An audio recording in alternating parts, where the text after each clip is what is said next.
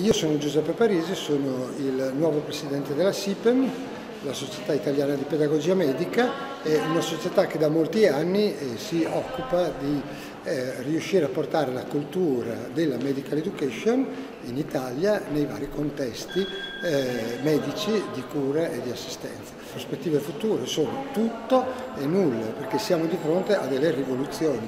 Noi sappiamo che i cambiamenti sociali stanno producendo delle Ehm, rivoluzioni anche in seno alle professioni sanitarie e alla medicina.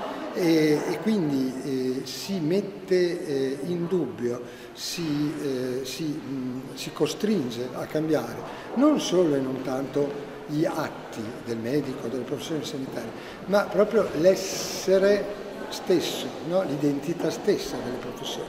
La formazione che noi possiamo aspettarci sicuramente deve essere una formazione che deve essere totalmente diversa, anche perché tra l'altro noi abbiamo strumenti formativi che sono diversi, eh, nuovi e che possono essere utilizzati. Quindi parliamo sicuramente della simulazione che eh, oggi ha delle possibilità enormi, ma parliamo anche semplicemente dell'utilizzo di tecniche didattiche attive che in Italia sono anche poco utilizzate e adesso stanno comunque introducendosi.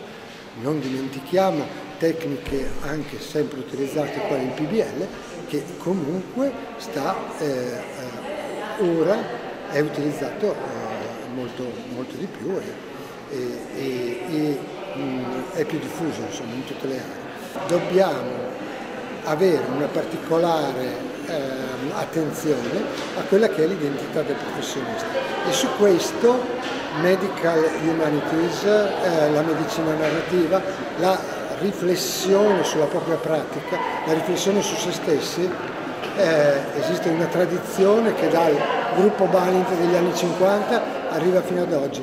Tutte queste tecniche sono importantissime, diventano vitali, non sono un semplice maquillage di una professione tecnica, ma è il trasformare delle professioni tecniche in professioni che devono andare verso la, la filosofia, verso il pensiero.